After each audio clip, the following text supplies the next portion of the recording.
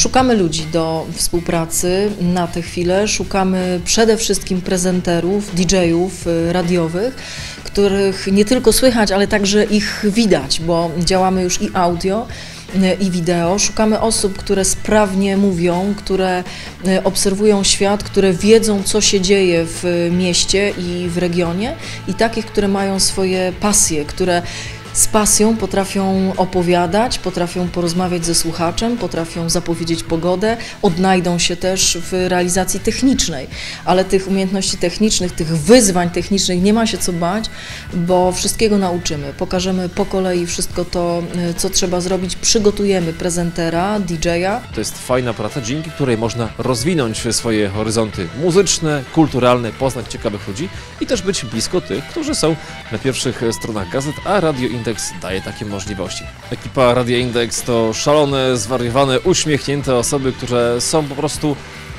zwariowane na punkcie radia, mediów, kultury i w ogóle są ciekawe świata, więc jeżeli chciałbyś też być taki jak my, to nie wahaj się, dołącz do nas. To jest Akademickie Radio Index.